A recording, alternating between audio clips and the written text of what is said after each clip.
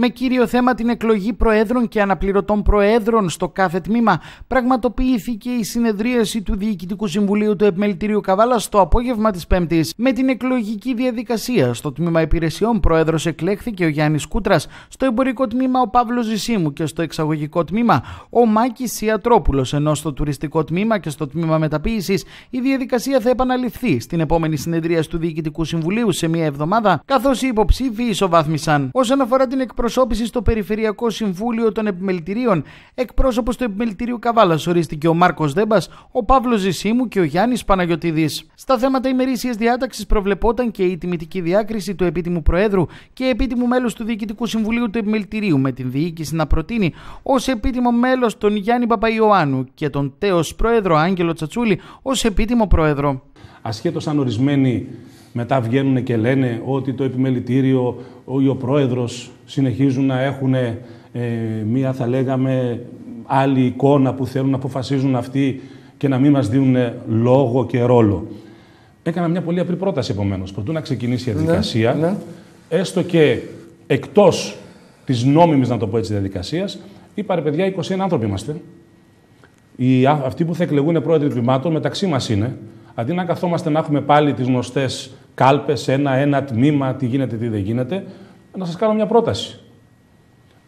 Πέντε πρόεδρους θα βγάλουμε. Έτσι κι αλλιώς οι δύο-τρει σχεδόν είναι αυτοί που πρέπει να βγουν.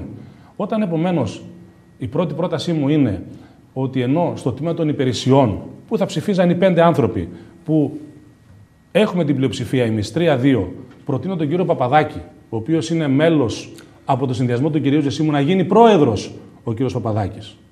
Προτείνω επίσης για το εμπορικό τμήμα τον ίδιο τον κύριο Ζησίμου. Και από εκεί και πέρα στη μεταποίηση ο κύριος Χατζησάβας που είναι πρώτος των ψήφων, ο κύριος Φραγκιόλου στο τουριστικό και έτσι κι αλλιώς ο κύριος Ιατρόπουλος στο εξαγωγικό. Και μετά από μισή ώρα ανούσιων συζητήσεων και το τι λέει το παράγραφος τάδε, η άρθρο τάδε, το κόμμα τάδε, το και τάδε, καταλήξαμε πάλι να πάμε σε μια διαδικασία ψηφοφορίας. Όπου έτσι κι αλλιώς στο τέλος έχουμε δύο τμήματα τα οποία υπάρχει η ισοπαλία, να το πω έτσι, που είναι το τουριστικό, γιατί έχουμε δύο υποψηφίους, ο καθένας ψήφισε τον εαυτό του, δεν θέλανε να βρουν μια συμβαστική λύση. Μάλιστα, ανέλαβα επίσης την πρωτοβουλία, κακώς μεν στο τέλος, να πως μήπω θέλει ο ένας να είναι δύο χρόνια πρώτα και μετά άλλα δύο χρόνια ο επόμενος. Και φυσικά και στο τμήμα της μεταποίησης, που επίσης θα έχουμε δύο υποψηφίους για την επόμενη Πέμπτη, όπου ακόμα και αυτό πήγαμε πάλι με, το βάση, με βάση το γράμμα του νόμου για να ξαναγίνει η διαδικασία. Όταν επομένως επί της ουσίας προσπαθούμε να είμαστε απέναντι στους 21 πλέον αυτή του Διοικητικού Συμβουλίου και εμείς να δείξουμε το πνεύμα ότι πλέον, ρε παιδιά, να τα ξεχάσουμε όλα. Ελάτε εδώ, να καθίσουμε όμορφα και ωραία. Βλέπουμε δυστυχώς ότι δεν έχουν καμία διάθεση.